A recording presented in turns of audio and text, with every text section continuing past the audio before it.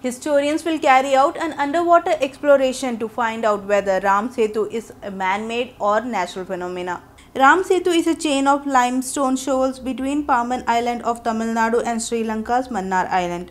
A study of NASA satellite images in 2002 said that it's a human-made structure. Later, NASA said that the images reveal nothing more than a 30 km long natural occurring chain of sandbanks. While according to a latest report, Indian archaeological researchers and historians will carry out an underwater exploration in search of material evidence in a bid to find out whether Ram Setu is a man-made or natural phenomena. ICHR Chairman Y. Sudarshan Rao addressing a press conference said that the Ram Setu pilot project period spans from October to November. Depending on the outcome, the Indian Council of Historical Research will carry out a similar exploration like one done in Dwarka, Gujarat.